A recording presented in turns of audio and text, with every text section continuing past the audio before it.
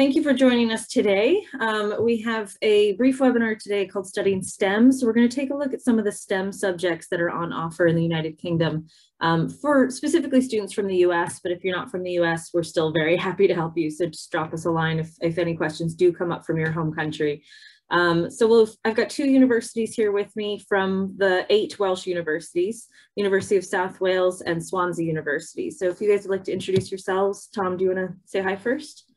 Sure thing, yes. Thank you, Maggie. Uh, hi, everyone. Uh, my name is Tom Hill. I'm uh, International Executive uh, at the University of South Wales. Uh, I'm also a, a, STEM graduate as well myself, so uh, very eager to share a few of my own experiences as well. Yeah, and hi, my name is Joanne Hopkins. So I work for Swansea University as the Regional Head of Recruitment for the Americas and Europe. Um, and I'm going to be talking a little bit more about engineering as part of this presentation. Brilliant, thank you. So I'll, I'll give you a quick overview first of just, you know, Wales, Welsh education, studying in the UK. Um, so just a bit of a crash course about how this works, um, coming from high school into an undergraduate program. Um, so first of all, this is where we are. We're that red bit on the map. Um, the whole of the UK is the dark gray island around us um, and a bit of Northern Ireland there. Um, I'd like to put, put this up because I think it's good to put it in context with what you know from the US the whole of the UK is about the size of New England. Wales is about the size of Vermont. So I think when you look at a map and you think, oh, wow, that's really far away from cities I've heard of like London or Manchester, it's really not. um, I live up in rural North Wales in a national park and I commute to London every Monday during normal times uh, to teach a class. So we're all really well connected. The train line here is fantastic. Um, I leave at seven. I'm in London by 10. I teach a three hour class. I hang around for office hours. I get a nice meal with friends and then I head back home. But I love where I live because I can see the ocean and the mountains and it's about 70% less expensive than London. Um, so Wales in general is much more affordable than living in one of the big cities, but we have great access to these places, which is fantastic. Um, it's also really easy to get around the UK generally. On train, you don't need a car and fuel is quite expensive here. So I think I lived here for about nine years without a car. That's fine. um, and then flying to mainland Europe is about a two hour flight. Um, and often it's more expensive to get to the airport than it is to fly to Europe. So it's, it's easy to get around. And getting back to the US is really easy as well. Um, we're all near pretty major airports. Uh, it's about a seven hour flight back to the East Coast and about a 10 hour flight to the West Coast, which sounds really long, but I drove six hours from Pennsylvania to Virginia for my undergrad. So I just kind of started teaching myself like it's just a little bit longer and I'm saving a lot of money and getting to live in a very cool place. Um, so just different ways to kind of think about this. I, I, should have said that too. I did my master's and my PhD in Wales. Um, I also spent a semester of my undergrad degree in Wales. So I definitely got obsessed with it. And 15 years later, I'm still here. So we'll go through some of that. Um, I'll just whiz through these just so you can see a bit more of Wales. Um, this is Cardiff, the capital city. It does have a very London vibe, but it is on a micro scale. So it's, it's 350,000 people. It feels like a capital city. We have a seat of government, stadiums, theaters, restaurants, shops, cafes, all that stuff you would expect in a capital city, but you can walk across it in about 45 minutes. Um, if you do want to pop to London, two hours on a direct train, there's one every hour. It's easy to get around. Um, we have more castles per square mile than anywhere in Europe. So I feel like I have to always put one like this up just because this is what you picture when you think about studying in the UK. Like, yes, this is going to be around you.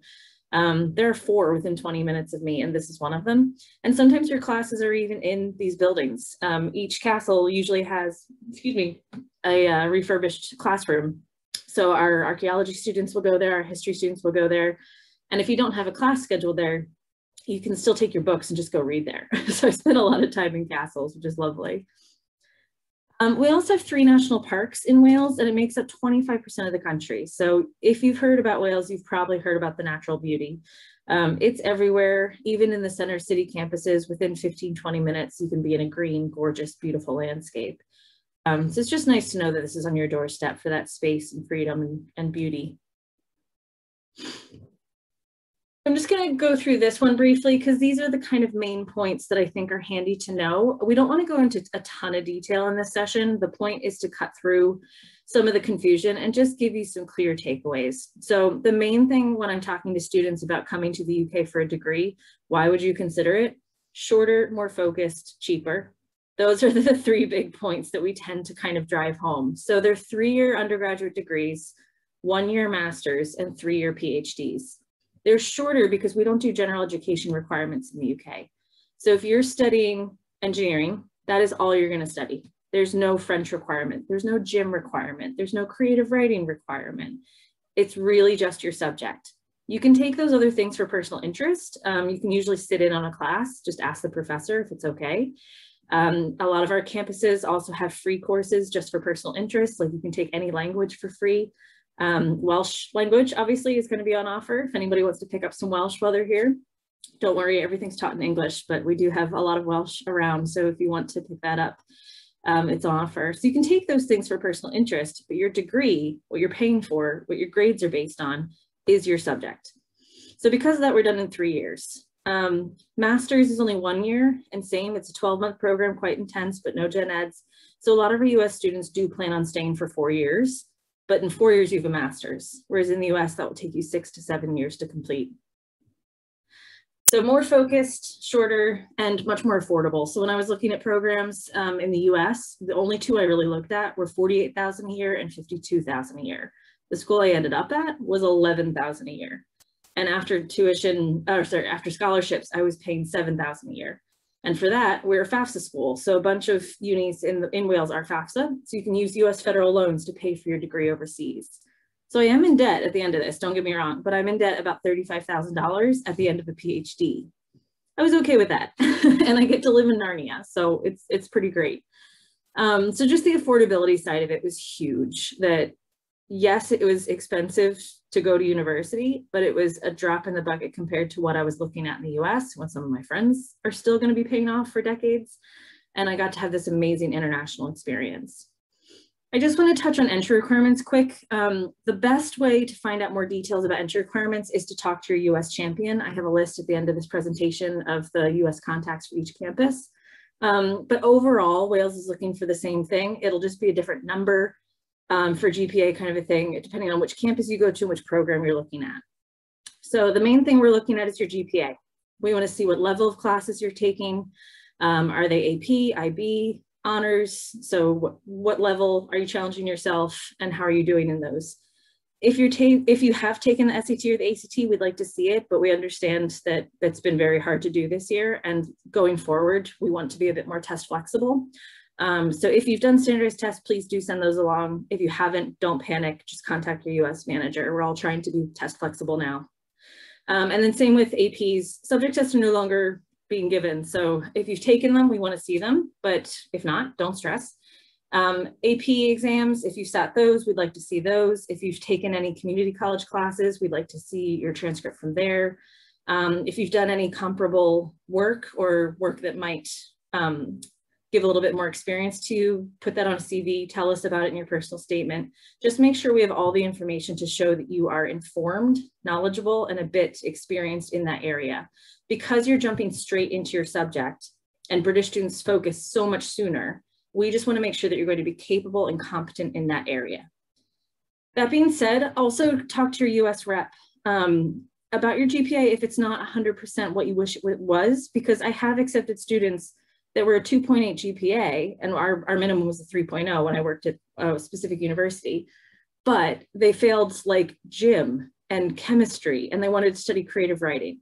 So if I'm able to look at your transcript and see that you have straight A's in the subject that you want to study at a high level, that's going to fill me with a lot more confidence. So it's worth have, having that conversation with the US champion to just see what we can do because it's not about like, oh, how can I work the system? It's am I confident you're going to be successful when you arrive here? So we want to make sure we can look at that transcript and transfer that over to being here and having you be a success at our campus. General overview. um, I'm just going to speed through these because we just talked about each of these, but I did want to touch on letter of recommendation. We only require one, and it does need to be from somebody who is from that field. So if you have a better relationship from like an English professor, they can always send a secondary reference along and it can be attached application. Um, but we need that one reference to be from an academic in the field that you want to study with us. Personal statements are also very different over here. Um, I mean, my undergrad one I wrote about summer camp. people write about their moms. it's very different over here. It's very much like a cover letter to a CV or a job application. We want to know that you have done some preparation for this course, you've done some research on this course, you know a bit about what you're getting into, you understand the field and the industry that you're getting into. Tell us about any experiences you've had, any journals that you've read, any independent work that you've done. Excuse me. Um, so just making sure that you're really telling us, this is why I want to study engineering. This is the experience I've had. This is what piqued my interest this is why I'm prepared to do it. Tell us about that. Um, there's also a lot of videos and things like that that can help you kind of hone that, that message. So do make sure you check in on that. Um, and then just a few last bits, um, just some pictures of our campuses, because yes, we do have a lot of buildings that look like Hogwarts. Um, this is from Aberystwyth University. Um, we also have a really vibrant campus life on all of our campuses. So student support, we'll pick you up at the airport, we'll bring you back to the dorms, we'll tell you how to open a bank account, how to get a doctor's appointment, don't stress about the how to live over here stuff. We help you with all of that. You just need to decide if you like the location and the program. If you like those two things, put in the application and then we'll help you with the rest of it. So yeah, we've got dining facilities, um, clubs, societies. It is very similar to a US campus in terms of student life and activities. We also have on-campus accommodation. Um, pretty much all of our campuses in Wales have guaranteed on-campus accommodation. If they don't, then they have offices that work with private accommodation in the cities um, that can help set you up with accommodation. The real perk here is that everybody has their own room. There's, I don't think there's any shared rooms um, in Welsh campuses. Everybody's got their own bedroom. You pretty much always have your own bathroom as well. Um, and then you have shared common spaces like kitchens or lounges. Um, so this building is actually where I lived for four years and I was an RA. So it, it's it's on campus, easy to walk around. Uh, there's 24 hour security. There's a mail room, a cafe, a shop, barbecue pits, bike sheds, definitely a student village, lovely community feel. So we're always there for might need in terms of support, but also just to give you a home. Right, I'm gonna stop there and pass over to Joanne and she's gonna tell us a bit about engineering. Lovely, thank you, Maggie. Um, so for, for this specific presentation, so it's about STEM, so science, technology, engineering and mathematics. I'm going to talk specifically about engineering. It's one of the things that Swansea is really well known for. But the important thing to know is that STEM subjects are available at all of the Welsh universities. So once you've decided what it is you would like to study, then for sure go on to the Global Wales website, have a look at all the universities to see what they offer, and then just start to drill down to see which one, um, which uh, course, which location is of most interest to you, reach out to your Wales champions and we will be able to, to talk you through the process. Um, and yeah, as like if you like the location, you like the program, submit an application and we can help you through the rest. So on the next slide, it's just an image of the, uh, from the other angle of the Bay campus. So our Bay campus is home to our College of Engineering, Computer Science, the School of Management and the Computational Foundry. So at Swansea, this campus was built back in 2015 specifically to house these programs. So we do have two campuses. The other one is more for the arts and humanities and the medicine programs. But for students who are interested in engineering, there's a lot, a lot of very impressive facilities on this campus, which helps students to get that experience alongside learning. So as for the full overview of engineering programs, it's aerospace, chemical, civil, electric and electronic, um, general engineering, material science, mechanical and medical. So as I say, there's a, a, full range of courses available on all of the Welsh universities and this is just the examples from Swansea. So on the next slide, we're just going to talk a little bit through about how do students learn who are studying an engineering program. And in Wales, we really put a lot of value and emphasis on students being able to do the practical alongside the theory.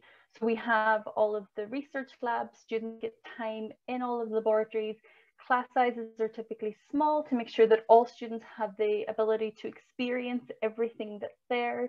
We do site visits, field works, guest talks. So we really try and make sure that students have access to a full suite of experiences so that when they graduate at the end of either their Bachelor of Engineering, their Masters of Engineering, that they they know how the world works and they know what to expect from their careers and they're able to go into it. And and also that along the if students do the the BEng engineering, that's a three-year program And if they do the MEng, that's the four-year integrated masters. And students are encouraged to enter competitions along the way. So the mechanical engineering students may do um, robotics and enter into different competitions in that type of field. Um, the computer engineering students may enter competitions to do with computer games design or something like that. But there's a lot of a lot of very interactive learning, shall we say. And one of the examples on the next slide is just for aerospace engineering. Um, so we have the simulation suites on campus and graduates from aerospace engineering can really expect to play a key role in the design, construction, tech, testing, and maintenance of a wide range of aircraft. So it's things like flight safety, fuel efficiency, environmental impact, calculating project timescales, writing manuals, and developing two new technologies. So for us, we work very closely with Rolls-Royce, Airbus, BA, BAE Systems, GE Aviation, so students, and again, this is where those guest lectures come into play, that students can hear firsthand about what it's like to have a career in that industry and be able to experience it themselves. And then on the next slide, we just talk through um, some of the support that's available. So again, at all of the Welsh universities, we try to make sure that students have access to preparing themselves for a career in engineering. So employability skills days are examples of this where we would have a company come in and give a panel discussion.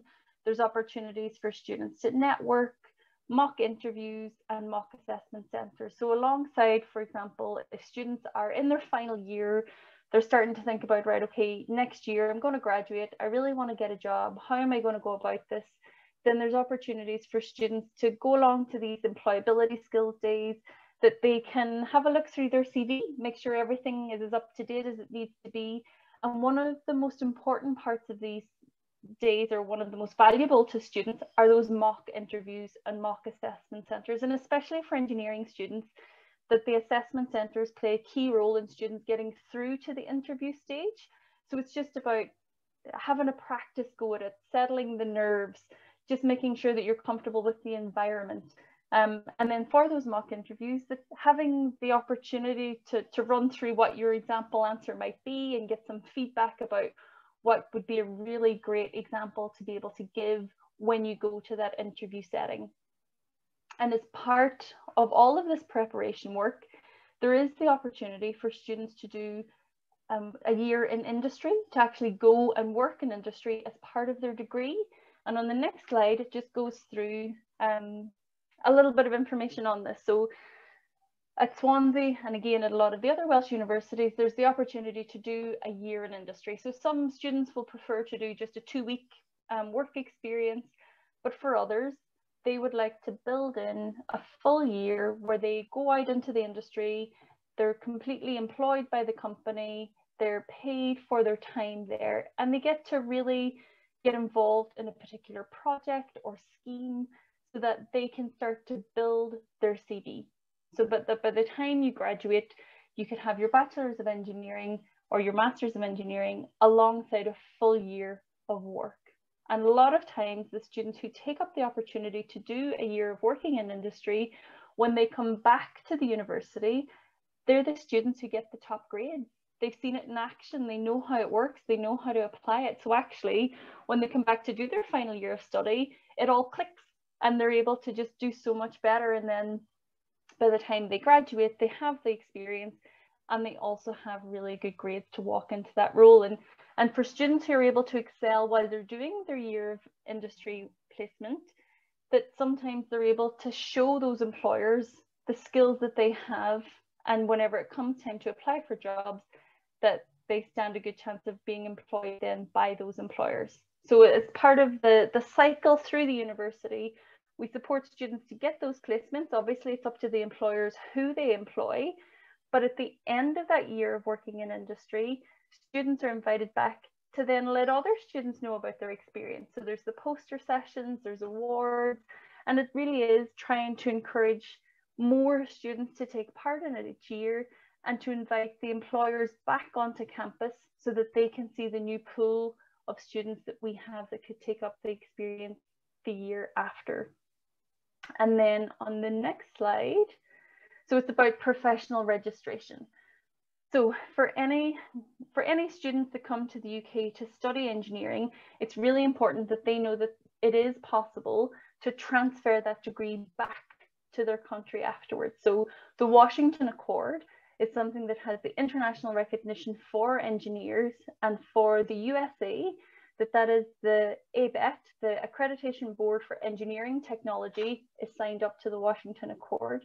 And for Canada, it's Engineers Canada that have signed up. So it's possible for students to come to the UK, do their engineering degrees, and then transfer those back to North America again. And then I think I have one more slide, which just, um, it's just an image slide, but it's just to talk a little bit about examples of research themes. So alongside the undergraduate study, there's also the research that students can do afterwards. And, and even at an undergraduate level, to know the research that the professors are doing while you study, that sometimes it can really help students to decide what their path will be later. So some of the things we work on are things like wave energy, we also have, um, specifically linked to our engineering, we have active classrooms on campus. So these are classrooms that generate, store and release their own solar energy. And as part of one of the summer programs we have in engineering, it's possible for students to do um, a summer abroad in a developing country where they bring this technology and make buildings solar in another country so that they leave at the end of the summer that there's a, a building there that can release enough energy for the building itself, but also sell it back to the grid so that it helps that building, whether it's a classroom, um, to, to support that community and, and to make it more manageable. Um, and then one of the other examples for medical engineering is wearable sports technology. So for um, rugby, we work with um, rugby teams to see the impact of head injuries in sports. So with a gum shield that can um, measure the impact of a head injury and then allow the coaches to see if that player needs to come off straight away. So lots of ways to, to bring engineering into the day-to-day -day life um, and just great opportunities for students to be able to see the research that they could do after they graduate as well. So yeah, so that's just a, a, a, kind of overview of engineering, and then I'll pass it over to Tom to, to talk about the rest of STEM. Excellent. Thank you, Joanne.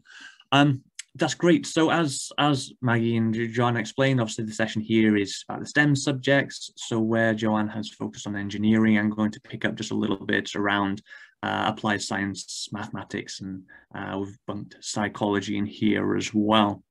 Okay, so when we're considering uh, computing, science, psychology, mathematics, and so on uh, at the universities within the UK, specifically within Wales, then of course we're, we're looking to focus on particular subject areas. So again, as Maggie said, we're not looking to do general studies uh, across the board. Students come to the universities here in Wales and they get to really start to unpick and dig deeper into those specific subject areas of their own interests. So, I, and again, just an example of what uh, we have, but again, a lot of these are seen across Welsh universities. You know, we've got computing, data science, cybersecurity, and so on. What's even better is that within these subject areas, if we have students approaching the university with even keener and sharper interests in smaller, more focused areas, then we can usually cater to those students as well.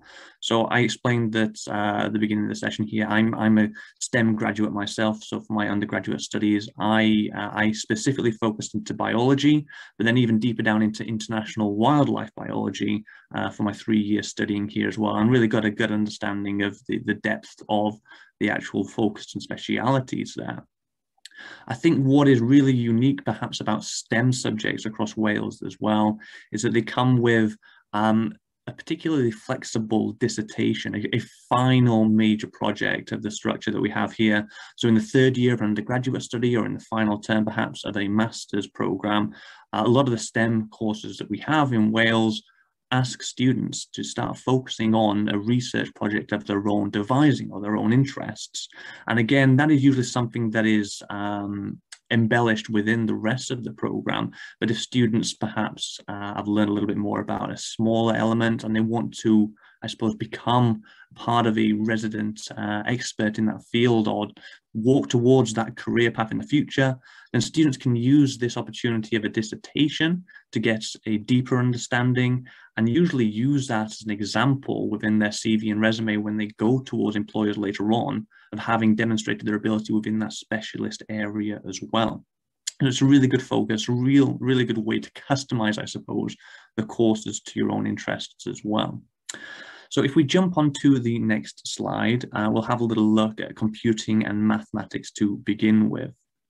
Uh, Joanne highlighted some of the very important elements of working with professional bodies, working with industries as well, to make sure that not only are students getting of course, that degree at the end of the three years or the one year's master's, that nice certificate when they graduate, but also having that industry understanding, uh, seeing the academic knowledge put into practice, being able to put it into practice themselves as well.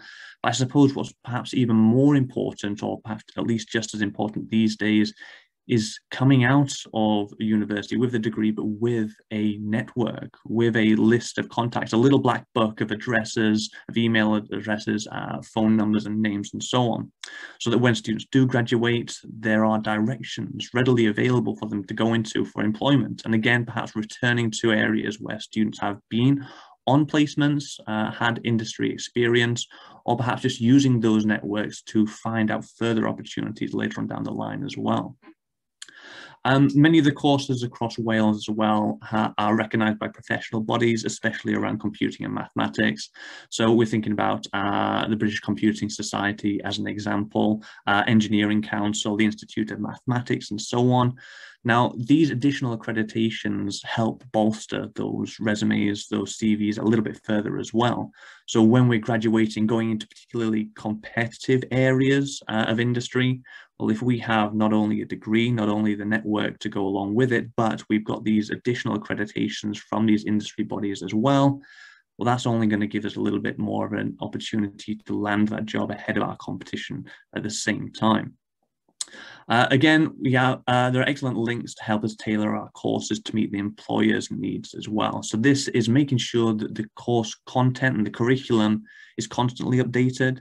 So this comes alongside things like uh, working to industry standards, ensuring that uh, we're keeping up to date with topical uh, requirements uh, and points of interest around our subject areas as well, making sure that what we are giving our students what we are teaching and training is relevant to the modern world in terms of the styles, the methodologies, the equipment that we're using, and how we can actually implement that in the future. In terms of perhaps a research approach to things, well, we want to be looking at what the world actually needs, uh, not just Wales, not just the UK, but the wider kind of, uh, I suppose, spectrum of computing and mathematics. Um, as an example, uh, a number of years ago in the UK, uh, the NHS unfortunately was held ransom by digital cyber attacks, and ransomware locked down a lot of the healthcare services that the UK has for its patients, which meant that a lot of people were unable to access uh, services and treatment. Now, in response to this, the UK and Welsh government have established the National Cybersecurity Academy, which is based around South Wales. And then a lot of the work that universities in Wales are doing are actually using the computing facilities, using their cybersecurity systems within the courses, within the course content, the uh, facilities to help combat future cyber cybersecurity threats within the UK, but also help across the world at the same time. So it's a manner of keeping all of this research that we're doing, this course content relevant so that there is somewhere to use it in the future. Um, if we jump over to the next slide, we can have a little look at the applied sciences. So again, this is this is where I was from originally. Uh, this is where we have our biology, our chemistry, our geography and our geology and so on as well. Now, a lot of this comes down to, again, catering to industry and hands-on uh, appropriate learning. So the facilities that we're learning throughout, uh, learning on throughout Wales, the laboratories, the, the field work, the excursions out and around the country and again overseas, all fold into the suitability and the employability skills that the students get when they come to graduate. So we're getting to use, again, industry standard equipment, Um, again, as an example, we have the opportunity to work with grade two uh, pathogens within Wales. So things like E. coli, uh, which can be a little bit daunting when you're going into a laboratory and you're working with these active live kind of strands of these uh, these pathogens. But of course, it's all in a controlled and professional uh, manner, so that when you do graduate and you go into industry, if you are tackling things as high magnitude as, as pathogens, as uh, you know, volatile chemicals and so on, that kind of daunting experience is is dulled down a little bit because you're already familiar with the process. You're already familiar with the protocols and the equipment, so it's not necessarily a matter of jumping in uh, blind at the deep end. Uh, as we go on as well, we want to make sure that our graduates from the courses acquiring the practical skills and strong knowledge, uh, which comes from perhaps a lot of the vocational elements that a lot of the universities in Wales provide. So whether these are, again, local vocational elements around uh, the countryside for our ecological courses, or overseas and working with, again, uh, what Joanne was mentioning there about uh, the the climate control, the, uh, sorry, the um, uh, green energy in the solar systems, we're building infrastructure as well. All of these vocational elements are putting the academic skill right into practice. So we know exactly what the chapters in the textbook mean when they're translated into reality. And again, that's what our career is going to be in the future. So that is a big focus on a lot of the content that we have here as well. Again, a lot of accreditations around the applied sciences. And again, as I mentioned for computing and mathematics, those are the elements that give you that little bit more of a edge when it comes to employability. Again, very competitive in certain areas. So any advantage that we can take, well, we want to take them uh, to give ourselves that little bit of a boost as well. And again, how we keep these contents relevant, how we keep them up to speed. Well, of course, we, we feed in from uh, international research, but we also have guest speakers come on in, people who are in industry, leaders and influencers in particular subject areas, coming in and share not only their knowledge, but their own experiences of breaking into those fields as well.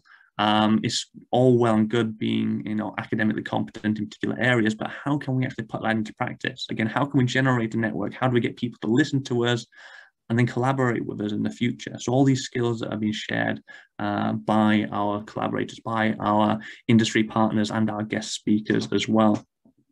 Um, if we jump on over to the next page, uh, we can have a little bit of a focus now on psychology and the therapeutic studies. Um, strict, not strictly a STEM subject, but again, it folds in very closely to a lot of the principles that we have when we're considering applied sciences and computing and mathematics and engineering as well. So again, when we're considering psychology, psychology is a nice kind of core uh, subject area to focus on, and it branches out into a range of different areas as well that we can kind of drill down into, which I'll touch on it in just a little bit of a second. Uh, again, uh, the psychology degrees across Wales, the majority of them are accredited by the British Psychological Society. When we are considering our accreditations, now a lot of these will translate across uh, to other places around the world, but it's always good just to have a little bit of a research uh, into the background of these um, accreditations yourself as well, just to make sure that they are relevant and applicable to your own pathway in the future and where you want to go uh, a little bit later on as well.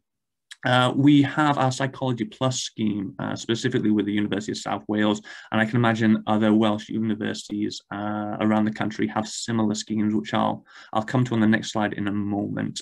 Uh, in terms of, I suppose, active research, again, this follows the same principle that all of our strands of science, technology, engineering, and mathematics have, that we're wanting to be tactical, perhaps, in how we approach our research, how we approach the teaching of our students, whether that's going to be the academic side, whether that's going to be the practice or the counselling or the therapeutic side, it all needs to be peer reviewed. It all needs to be assessed before it's actually put into the curriculum. And that's something that we do through, again, research collaborations internally and with external partners as well. The tutors that you work with will come from a range of different backgrounds. And again, that just uh, enriches that experience that you get. We have tutors who have spent their entire lives in textbooks, doing the research, uh, doing the academic, doing the theory side of things. We have uh, professors who have come back from industry. You know, they've been practicing therapists uh, for decades at a time, and they come back with their own experience and, again, very importantly, their own network of contacts for you to pick up and run with as fast as you can. You know, put into practice and make sure that it is used to its full potential as well. Alongside these, we have, again, particular centres, particular clinics and facilities. Um, again, a lot of the facilities across Wales uh, may very well also be uh, practicing uh, in terms of how they treat patients as well. So again, at the University of South Wales, we have our uh, PAWB clinics, so PAWB, psychology and well-being. Uh, coincidentally, uh, PAWB is a Welsh word for everyone, so it's a nice kind of encompassing attitude that the team have there but they're actively providing services to the community through, uh, through treating uh, patients where our current students have the opportunity to oversee uh, and look in on these programs as well and get their own experience at the same time. Um, if we jump over just to the, I think the final slide here, and I'll briefly touch on to the, I suppose, the extended kind of depth of the psychology. So I mentioned the Psychology Plus scheme, and again, very similar, no doubt, with other universities across Wales. This is where students perhaps will come in in the first instance, have an interest in psychology, and then have their mind opened to all of the branches and depths of psychology and decide that actually this is where I want to go, whether that's into something like um, tactical interviewing or counseling skills or clinical psychology. Students can then start to drill down into particular specialist areas, customize their own course by picking up these additional skills, these additional courses, which majority of are free of charge as well. They're just built in as part of the curriculum or the optional activities and extracurricular things.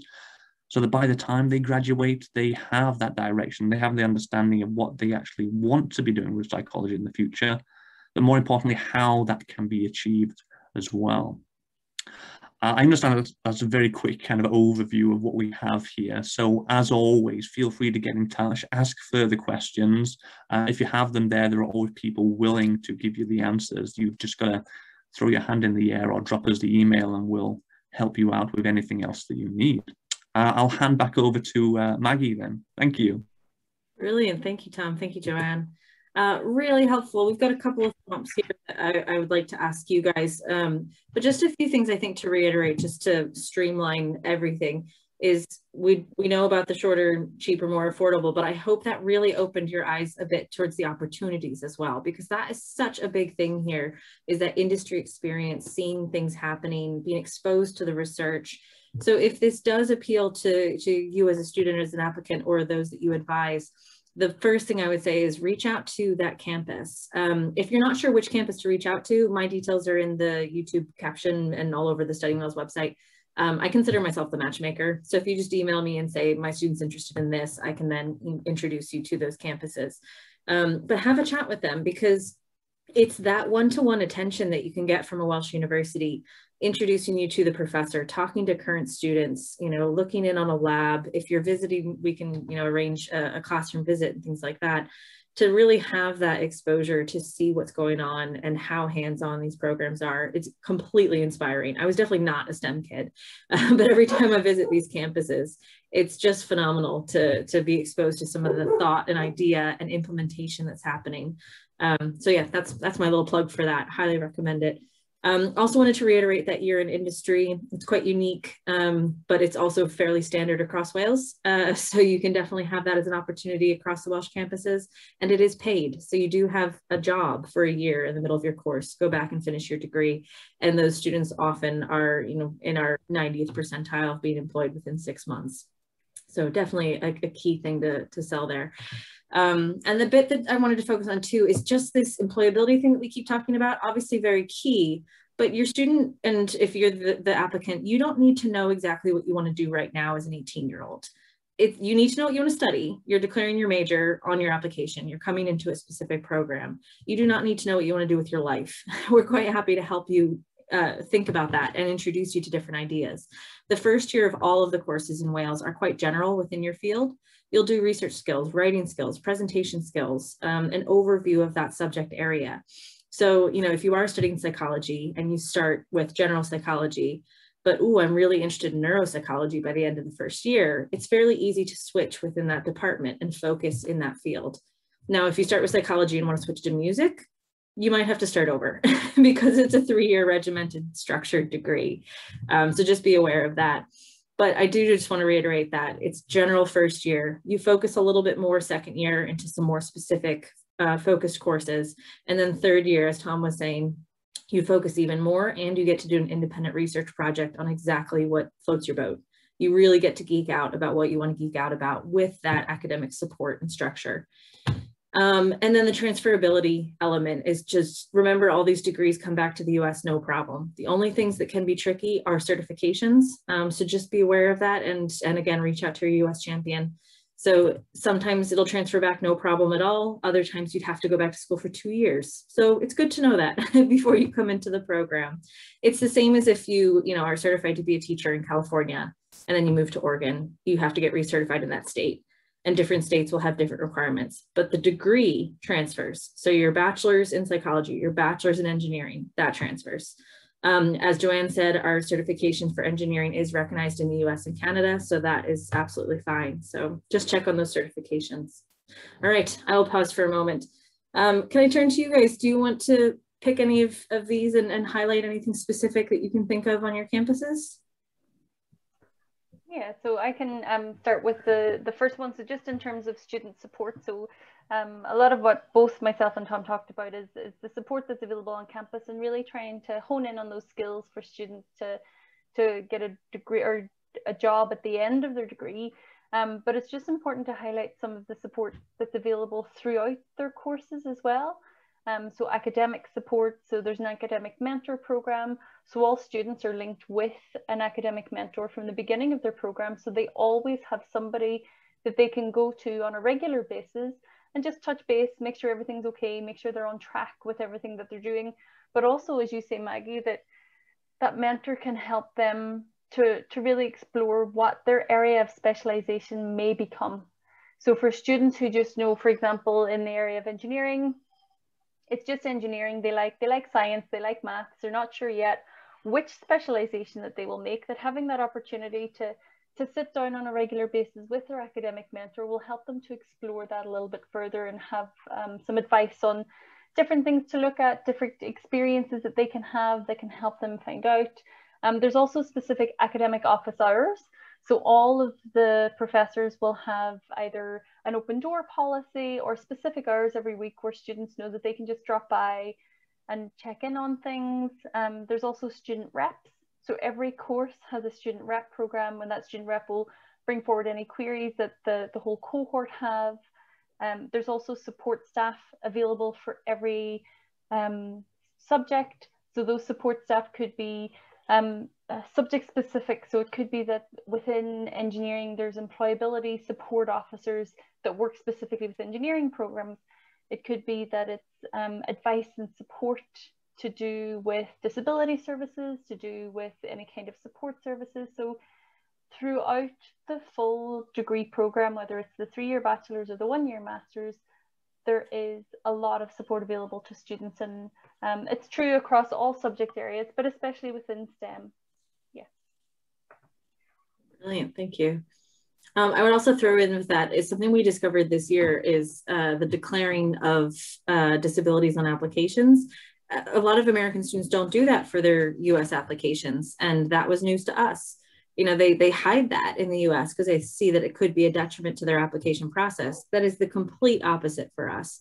Um, so we really encourage you to, to declare anything on your application about a disability because that's so we can prepare for you to be on campus. Um, uh, the example I often use is we had a blind student at my campus a couple years ago applying and our staff was retrained in specific software so that blind student could study music and now they're staying on for uh, a master's and we were able to arrange their visa to arrive early so they could uh, acclimate their guide dog to get from their dorm to their classrooms and things like that. It's purely about setting up the system to make sure that you're going to be successful once you begin. So it has nothing to do with your your actual admissions process. Um, we do that for preparation. So yeah just want to make sure that's out there in, in the world and every webinar we do. Please do. Don't feel bad about that. Um, is there anything else you'd like to add here tom the other thing, yeah, I, I think you phrased it out quite well uh, earlier on there, Maggie, when you said one-to-one attention. Uh, you know, John, uh, as, as, John's highlighted, the um, obviously the mentor, the pastoral kind of support that the uh, teams put together as well, uh, which is great. I think um, if it's eking out perhaps additional value from this support, it, it kind of blends into the second point you had on the screen there about research as well the beauty of STEM is that you see so many areas of collaboration. You know, mathematics isn't in isolation by itself, nor is engineering, nor is biology. They, they do overlap altogether, which is great. Uh, you know, a prime example is, um, you know, can look at mathematics and it can seem a little bit abstract and where do we apply mathematics but if we're working in things like uh, climate prediction and control as, as, an example of one of the projects the team here are working on that then goes hand in hand with a lot of the geographers and the geologists and the ecologists that are working here. So we, we see those collaborations, the students get to learn more, they find out areas about different uh, specialities within their subjects. And that just comes from engaging with these academics, you know, having these one-to-one sessions, chatting, asking those questions that are on their minds. And that support is just there, like I said, all year round for the students to take, make the most out of. Fantastic, thank you. Um, I think the only other thing I would highlight here uh, is we have a lot more episodes like this. So, I mean, if you want more info, we're trying to scrape the surface and just cut through the noise and give you some really clear action points and contacts and things to think about. Um, but we specifically featured these two universities because University of South Wales has a webisode on our YouTube USA playlist that focuses on psychology. So if you want to read, uh, watch a bit more about psychology, uh, meet Rich Stacy, one of uh, Tom's colleagues, and talk about what it is to be a student on that campus, you can check out that video. Um, and then Joanne and I did a video on uh, Swansea University and they focus specifically on engineering and speak to professors and students in the field. So you can hear some real firsthand uh, experience about studying that there. So do check those out. Um, we do obviously have a lot of other resources available, but I just can't encourage you enough to reach out and contact us. Um, it is very much a one-to-one -one attention and it is a case by case for most admissions. So while I can give you, you know, that really general entry requirement chat, it's so much in your favor to just reach out to your US champion and have that first conversation. Um, they can look over your transcript. We're all about transparency and they can say, yes, this is a very strong one. We would probably accept you. Or no, this is what we need to see. Do you think you could do that by your senior year? Um, so our whole goal is to just kind of help you make this process more clear and a bit more straightforward. Um, we're not trying to trick anybody. So I hope this piques some interest. Um, I want to thank you both for coming along. Really appreciate it. And any questions or issues, do get in touch with us. We're studyinwales.ac.uk um, and all of our contact detail will be in the box just below. So thanks very much. Good luck. Thank you very much, everyone.